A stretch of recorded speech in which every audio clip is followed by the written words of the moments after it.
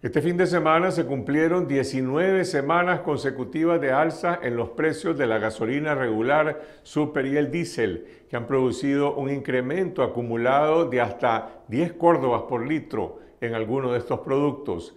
Veamos lo que nos dijo Juan Carlos López, director del Centro Jurídico Social de Ayuda a los Consumidores, sobre el impacto económico que ya está provocando el alza de los combustibles.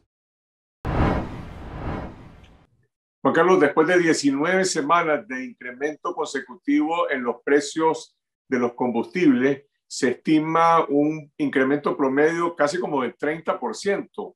¿Cómo impacta esto en los consumidores?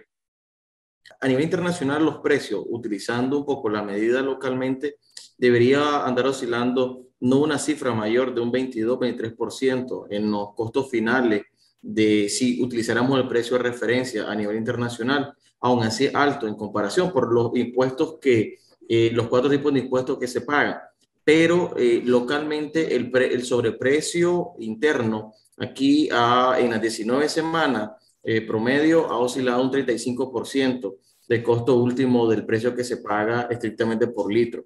Eso representa específicamente un aumento en los costos eh, suntuales en el sector pyme, sector empresarial y, por hecho, y de hecho también al consumidor de manera eh, específica. Eh, claro, hay algunos eh, planteamientos que se relacionan con el tema de la canasta básica, que específicamente puede tener hasta el día de hoy un poco de respiro, pues, pero eso no quiere decir de que dentro de dos semanas, si las olas alcistas continúan internacionalmente y localmente, y realmente eso represente un aumento, por ejemplo, en productos pereceros, que por el momento se ha venido manteniendo una disminución o un poco de estabilidad, no obstante con otros productos que sí realmente han aumentado.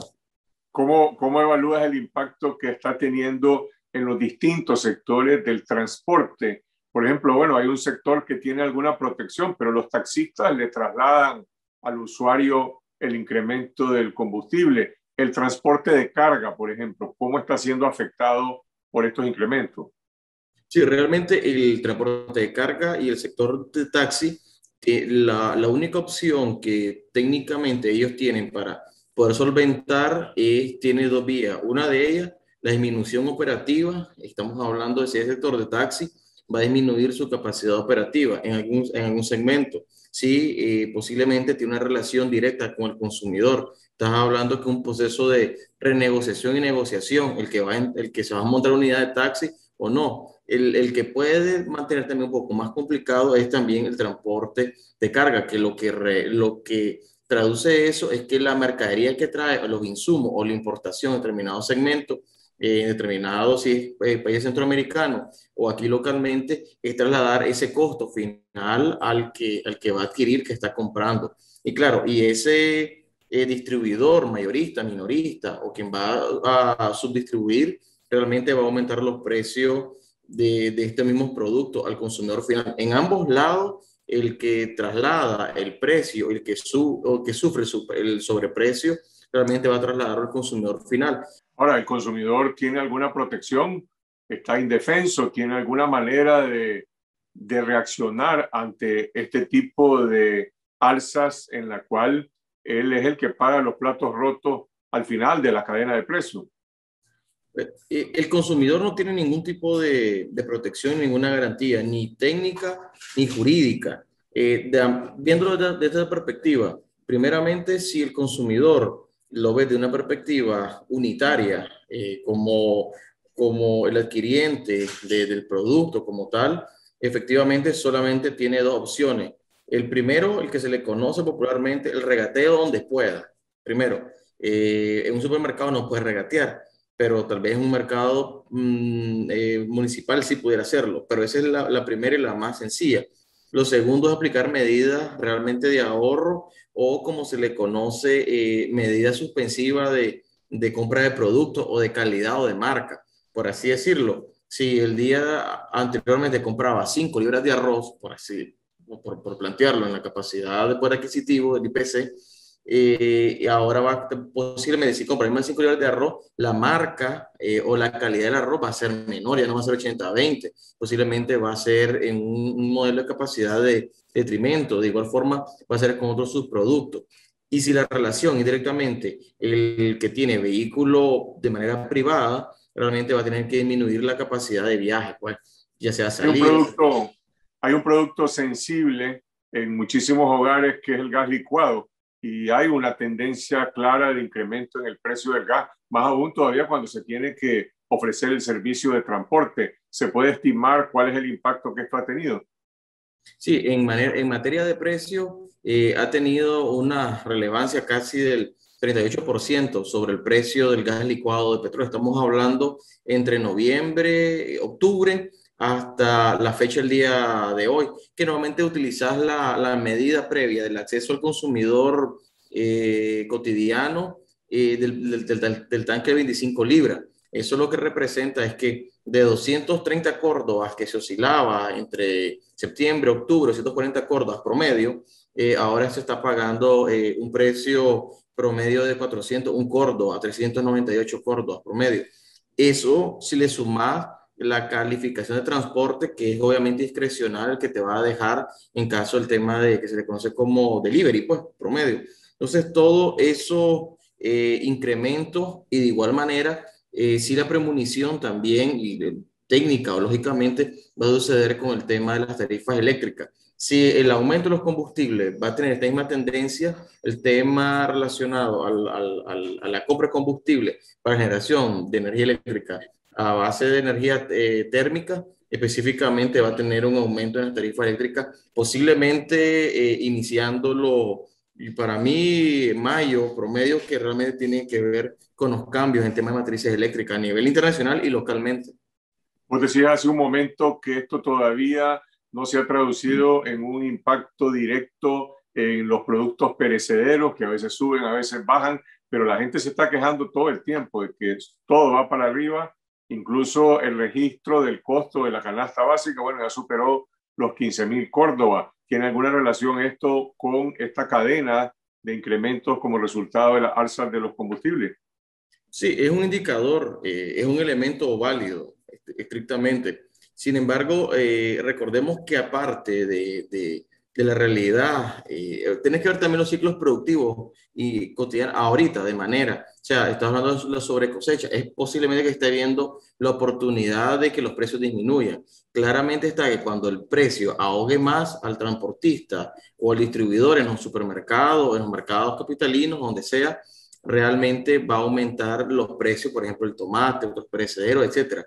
Este, esta es la bonanza momentánea eso no quiere decir de que eh, hayan productos que también para esta fecha eh, eh, sufran una calificación de aumento de precio. Por ejemplo, el queso, algunos tipos de lácteos, entre otros, pues, que también el comerciante y el que está comprando en algún, en algún momento sabe de que se te, te, traslada el precio de los combustibles o el precio de transporte, peaje de transporte, como se le conoce en sus costos operativos. Entonces va a trasladarlo al consumidor final.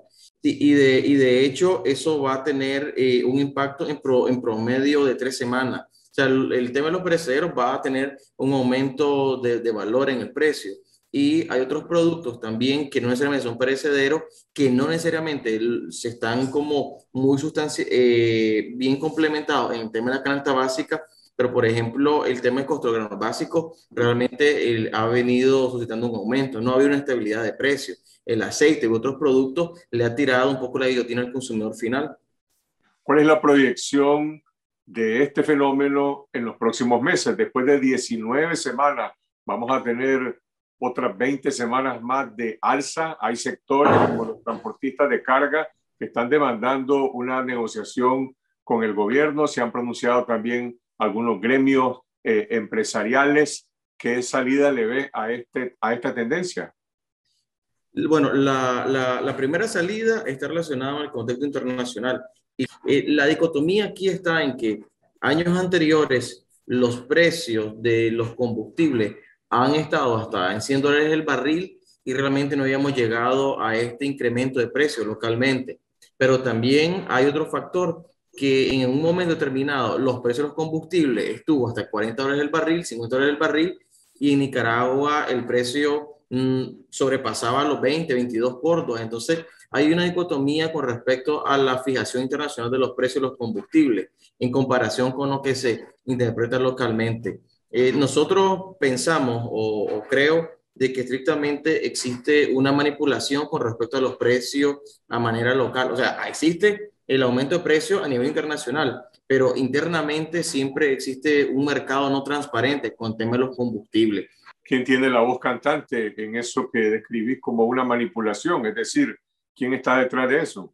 Mira, el, directamente existe una correlación entre eh, la no fiscalización del gobierno de una forma directa, porque el Estado como tal, aunque el INE no tenga la capacidad institucional para la revisión, existe una política pública de protección en economía, ¿no? Se entiende porque está el Estado en garantía.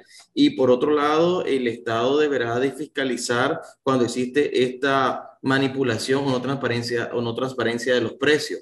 Eh, pero por otro lado, existe una eh, cartelización razonada con respecto a las empresas que compran y codistribuyen aquí el tema de los combustibles, porque aquí localmente, el, si hablamos del tema de los impuestos, que es el único país que tiene cuatro impuestos con respecto a los combustibles, solamente son, son cuatro tipos de impuestos, pero eso representa apenas el 6% del precio final al consumidor, según establece la ley de hidrocarburos y, y las leyes tributarias. Eh, por otro lado, te encontrás que las fijaciones de precios, creando un oligopolio, hace de que aquí no haya una competencia sana para la distribución de los combustibles. O sea, todas las empresas gaseras tienen los mismos precios para todos los consumidores. Y claro, siempre le planteo de que eso es fácil y la investigación y el análisis cuando entra a los precios finales que, que reportan la gasolinera al, al ente regulador INE, que es el, es el trabajo que realizan ellos, y te vas a dar cuenta que todas tienen los mismos precios en Managua y en los departamentos. Y todos los aumentos eh, pregonados los días jueves, que se aplican los días domingos, según el hidrocarburo, específicamente todos tienen los mismos precios. Aquí hay una combinación entre la inoperancia del Estado, pensando que lo, lo más complicado podría ser que el Estado, con algún tipo de, de, de empresa paraestatal o semiprivada estatal, realmente eh, se haya adecuado también con los precios fijados con otros gremios que aparentemente son de capital meramente privado. Pues entonces, lo, lo complicado aquí en Nicaragua es que eh, los negocios entre políticos, los negocios privados, realmente se entremezclan y eso hace que el consumidor final es el que termina pagando realmente este tipo de mercados manipulados. Hola a todos, soy Camilo Egaña, CNN en Español. Les sugiero, les recomiendo, les pido por favor que se suscriban al canal Confidencial Nick en YouTube. De esa manera se rompe el muro, el dique, evitan los zarpazos de la censura. Es lo menos que se puede hacer, ¿vale?